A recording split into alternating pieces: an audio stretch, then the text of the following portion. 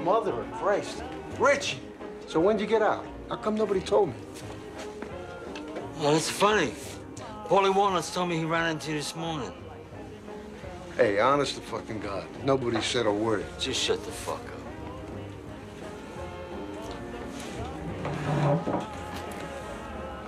I did a lot of meditation in the can on this. On what?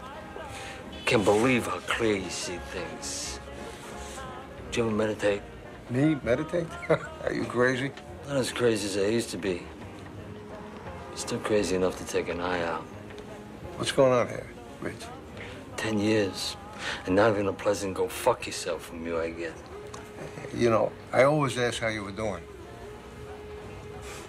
Hold on there. You, how could you let my dear friend sit here with an empty cup of coffee? I'm sorry. No, that's all right. Take it easy, kid. Bring this gentleman a nice veal parm sandwich and hurry the fuck up about it.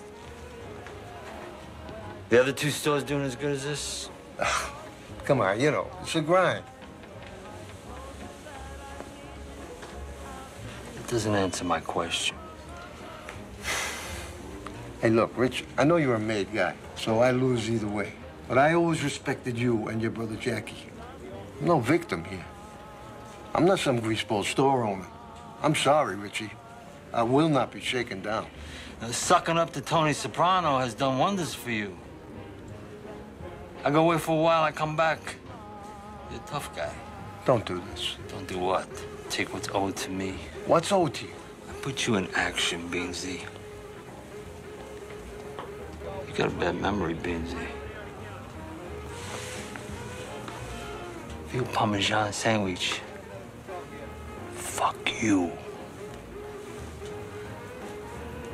I'll be back every Saturday, partner. You know, I don't fucking believe what I'm hearing here. I'm being shaken down for what? What did I do? Tell me, what did I do? This is not right, Richie. I'm not gonna fucking lay down. I'll step up.